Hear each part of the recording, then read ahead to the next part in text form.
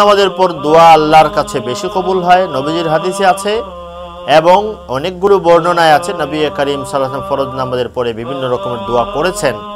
তাই ফরজ নামাজের পর দোয়া হতে পারে, দোয়া করা উত্তম এ বিষয়ে বিতর্কের ঊর্ধ্বে। ফরজ নামাজের পর ইমাম মুসল্লিদেরকে নিয়ে সম্মিলিতভাবে হাত তুলে দোয়া করবেন, করা যাবে না, একা একা দোয়া করবে এই বিষয়টি হলো বিতর্কিত বা আলোচিত বিষয়।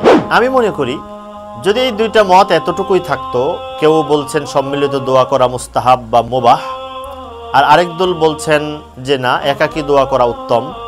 এই উত্তম অনুত্তমের এই এতটুকুর মধ্যে যদি সীমাবদ্ধ থাকতো, এ নিয়ে বিতর্ক, ঝগড়াঝাটি, বাড়াবাড়ি না হতো, তাহলে এই বিষয়টা নিয়ে আমাদের আলোচনার বিশেষ কোনো প্রয়োজন ছিল না।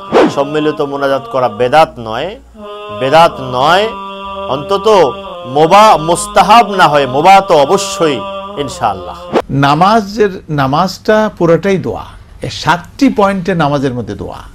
আপনি যখন আল্লাহ আকবর বলে সানা পড়লেন, এরপরে দোয়া আল্লাহ বায়দ বাইনিয়া বাইনা খাতোয়া, এখানে শুরু হয়ে গেল দোয়া। এরপরে আপনি গেলেন রুকুতে। রুকুতে গিয়ে সেখানে দোয়া। আল্লাহ ফিরলি সেখানে দোয়া আছে।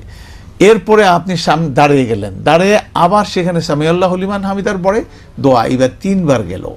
এরপরে আপনি গেলেন সজ্জায় সজ্জার মধ্যে দোয়া। নবী সালামের দোয়া করো। আবার সজ্জা থেকে আপনি বসলেন। তা আবার কি হলো? দোয়া হলো। তারপরে দুই সেজদায় আপনি দুইটা হলো। এরপরে আপনার আবার যখন ইয়ে পড়বেন দোয়ায়, মাসুরা সেটাও দোয়া। নামাজের মধ্যে খালি তো দোয়াই। তো এক নামাজের পরে গিয়ে এখন আমরা দোয়া পড়ি। দোয়া নামাজের পরে আছে, কিন্তু এইভাবে না। আমরা যেভাবে হাত তুলে সবাই মিলে কালেকটিভলি জামাতের সাথে করি, এটা না। এটা যার যারটা সে করবে। এগুলো বলা হয়েছে, কি কি দোয়া? কি কি দিকের কি কি তসবি এগুলি বলা আছে, সেইগুলি আপনি বসে বসে পড়বেন। সেখানে সবাই মিলে হাত তুলে, না, একা একই কেউ যদি দোয়া করতে চান হাত তুলে, কোনো অসুবিধা নেই।